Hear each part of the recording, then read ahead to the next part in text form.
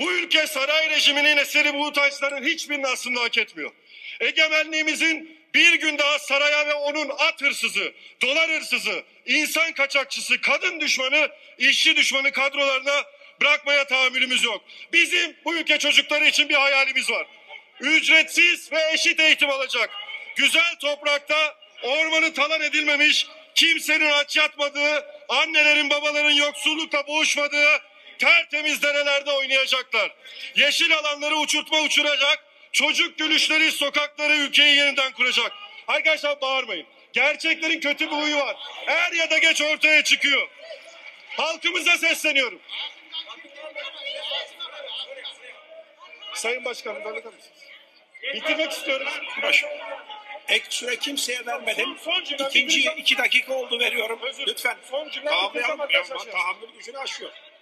Sayın Başkan, ricam şu. Arkadaşlar susarsa ben konuşmamı bitireyim. Onu sağlayın. Arkadaşlar tamamlayalım lütfen. Arkadaşlar bitiriyorum. Dediğim gibi gel